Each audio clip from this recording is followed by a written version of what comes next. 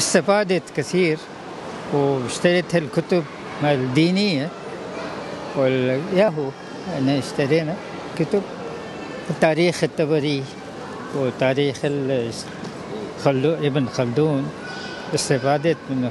حصلت كتب بها فائدة كثيرة.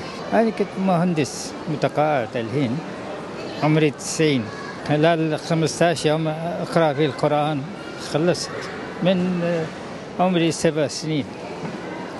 كل شهر مرتين لو ثلاث مرات أخلص القرآن.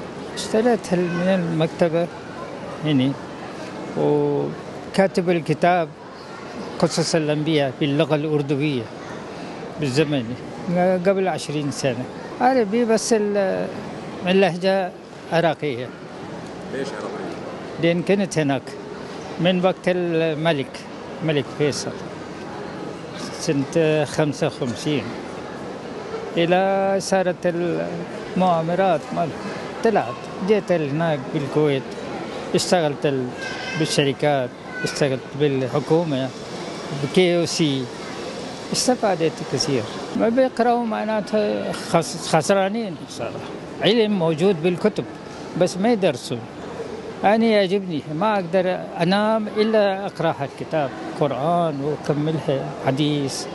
وهاوية بس اللي كان صديقي آه، شعراوي.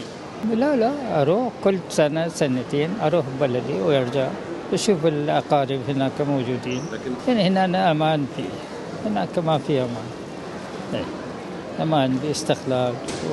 وناس كثيرين بس ما في عداوة أي شيء أصدقاء كلهم.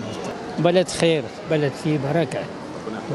الشعراوي عالم عالم خسارة خسارة مو لمصر للبلد الإسلامي كثير.